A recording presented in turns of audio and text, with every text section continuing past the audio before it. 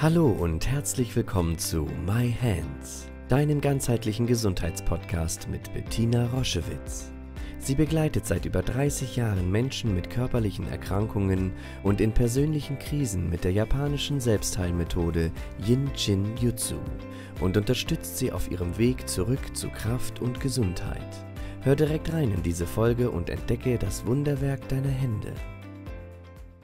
Hallo, hier ist Bettina. Herzlich willkommen zu deiner Yinshin Jitsu Podcast-Zeit. Ähm, neben den neuen Folgen, die ich immer für euch aufnehme, haben wir beschlossen, jetzt auch regelmäßig eure Lieblingsaufzeichnungen, eure Lieblingsfolgen auszuspielen. Danach habt ihr ein großes Bedürfnis und dem kommen wir von Herzen gerne nach. Ähm, die Folgen liegen schon länger zurück und es ist vielleicht, naja, für die Neuen sowieso super interessant, was eure Lieblingsfolgen sind. Und für diejenigen von euch, die die vielleicht vor einem Jahr oder noch länger schon einmal gehört haben, ist das ja mega spannend zu gucken, wie hat sich mein Leben verändert, wie schaue ich jetzt auf dieses Thema. Also die Neuen sind herzlich eingeladen, diese tollen Folgen zu genießen und die, die schon länger dabei sind, nehmt euch in Ruhe Zeit, einmal zu reflektieren, wie ist das heute mit dir und deinem Jenschen Jitsu, wenn du dran geblieben bist, was hat sich alles verändert. Viel Spaß dabei wünsche ich euch von ganzem Herzen und ähm, es ist mir eine Freude, euch weiterhin so intensiv begleiten zu können. Heute möchte ich mit euch sprechen über ein Thema, das ein bisschen schambesetzt ist, nämlich das Übergewicht.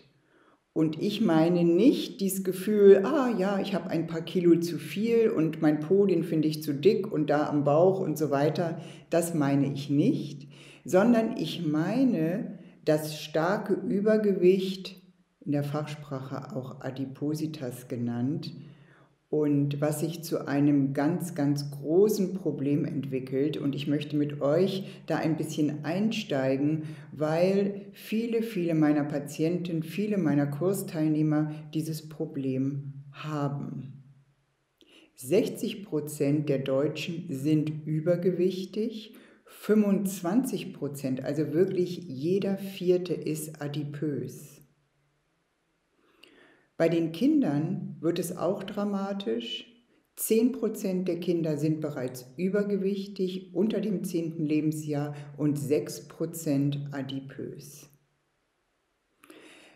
Was ist, was heißt genau adipös? Adipös ist Adipositas ist eine chronische Erkrankung, eine chronische Erkrankung, wo sich unangemessen viel Fett bildet losgelöst von einem Schönheitsideal. Und das Problem am Adipositas ist nicht nur, dass die Menschen sich unglaublich schämen, dass sie das Gefühl haben, sie bekommen das nicht hin, dass sie das Gefühl haben, wenn sie doch mehr Sport machen würden, dann würde das besser sein. Das alles ist aber Fehlinformation. Diese chronische Erkrankung hat eine genetische, eine genetische Disposition und sie hat natürlich, ist eine Konsequenz aus dem Lebensstil, den wir leben.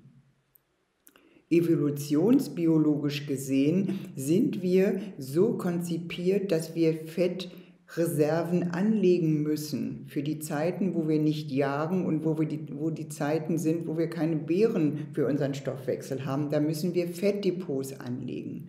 Aber in der hoch kalorischen Zeit, in der wir leben, mit diesen hochkalorischen fetttriefenden Lebensmitteln, in den äh, unglaublich süßen Getränken, in diesen Zeiten hat sich alles verändert.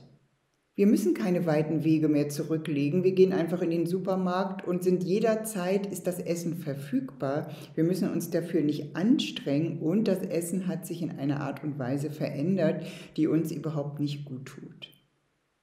Das einmal und dann eine genetische Disposition, das führt dazu, dass Menschen eben an dieser Erkrankung, an dieser chronischen Erkrankung Adipositas leiden. Die Ursache ist somit ein bisschen deutlich. Die Folgen vom Adipositas und besonders wenn es eben schon im jungen Alter und oder bei Kindern auftritt, ist eben dramatisch. Das Herz-Kreislauf-Risiko ist riesengroß. Die Bereitschaft, einen Schlaganfall zu bekommen, steigt immens. Diabetes Typ 2 und mittlerweile 13 Krebsarten, die entstehen durch und begünstigt werden durch den Adipositas. Es lohnt sich also, dort Ärmel hoch und mit einem klaren Bewusstsein und einer neu geliebten Wertschätzung und einem liebevollen Blick auf sich selbst dieses Thema anzugehen.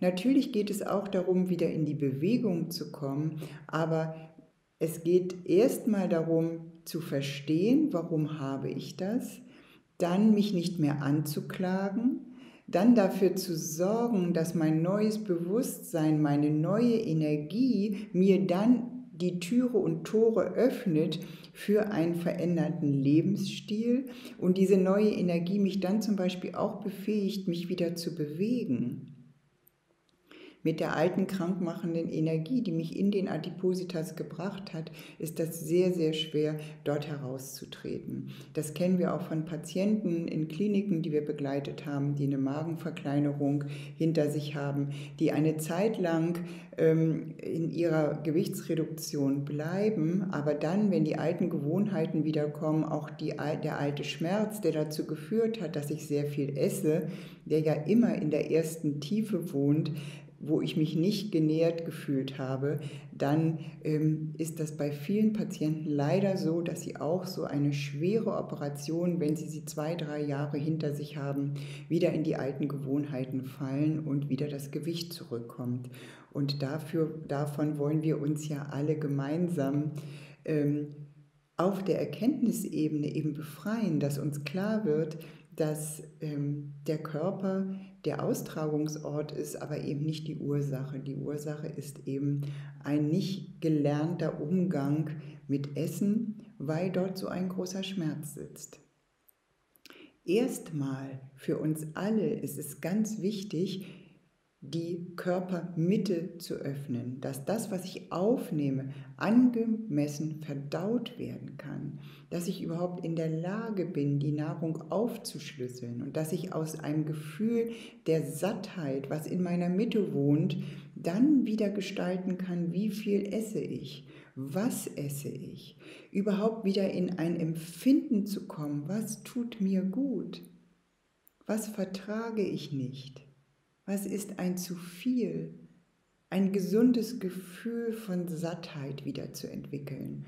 Und da haben wir eben alle unsere große, große Spezialistin an Bord, nämlich das Energieschloss Nummer 14.